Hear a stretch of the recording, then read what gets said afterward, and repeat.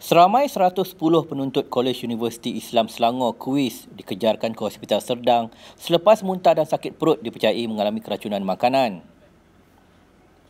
Jurucakap kuis berkata, semua penuntut membabitkan 90 wanita dan 20 lelaki itu menjalani program orientasi bagi kemasukan peringkat diploma dan ijazah semester pertama Kolej Universiti berkenaan.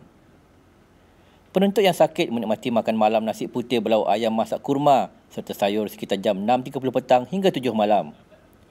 Katanya kemungkinan makanan berkenaan menjadi punca keracunan makanan.